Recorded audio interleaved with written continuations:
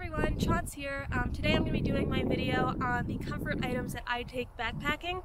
It's one of those internet video nomination things where people will um, say theirs and then nominate someone else to give theirs and then it kind of becomes a chain. And Spiguyver Backpacking nominated me uh, in his last video and I will post a link to it in the notes because it was a really good video. And so yeah, I'm just gonna go through the items in my pack, three of them, that I consider to be luxury items or things that I don't need to bring with me. Uh, the first thing I've got in my pack, usually, is the Snow Peaks Titanium um, 450 milliliter cup. Um, yeah, it's a cup. And that's all there is to it, but I kind of got in the habit on the PCT where I would love to get to camp, have my dinner, and then make a cup of hot chocolate to drink while I'd go to bed, and that was kind of just my way of having something to look forward to at the end of the day. And I would do a lot of night hiking to try to keep up.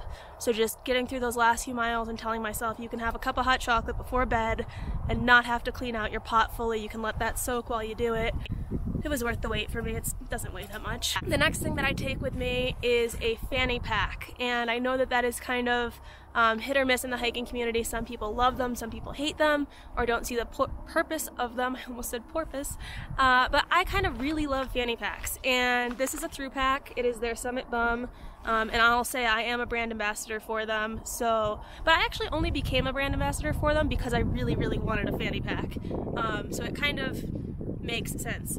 But yeah, I don't know, just stopping when I would be hiking to try to reach and get something out of my side pocket in my pack uh, kind of slowed me down because I felt like I had to stop every time I wanted something. And I think just having something just right in front of you that you can reach down, unzip, pull something out. It's just really nice. It makes eating snacks convenient and I love it.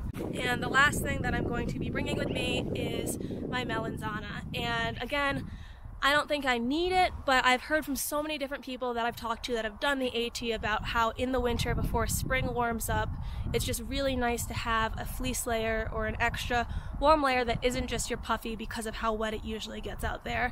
And so I will be bringing the Melanzana, even though it's 9.6 ounces, that's a lot for me, but I think it'll be worth it and I really love this hoodie and I just don't really care. It's going to be one of my luxury items, and if I really get fed up with it, I'll send it home, or maybe I'll send home my puffy. I don't know, but I would rather figure it out there and be warm and be able to make that decision with both than beforehand not knowing what it'll be like when I get there. So yeah, those are my comfort items that I bring backpacking. Thanks so much for watching, and for my nomination, I am going to nominate the Whimsical Woman, aka Jennifer Mavis, or Jennifer Mabus, aka the Whimsical Woman, whichever way you want to say it. Um, Jen, what are you bringing with you when you go on your trips this summer?